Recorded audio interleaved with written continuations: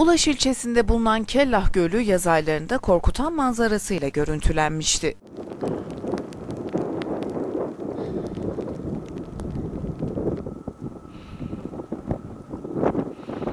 Kuraklıktan nasibini alan göl yağışların azalması ve beslendiği su kaynaklarının kurumasıyla yok olma tehlikesiyle karşı karşıya kalmıştı.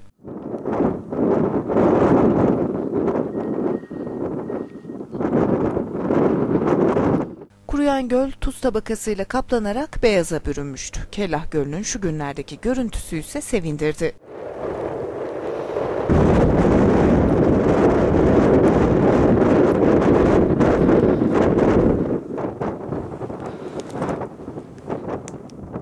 Kentte son günlerde yağmurun etkili olmasıyla birlikte göl yeniden su tuttu.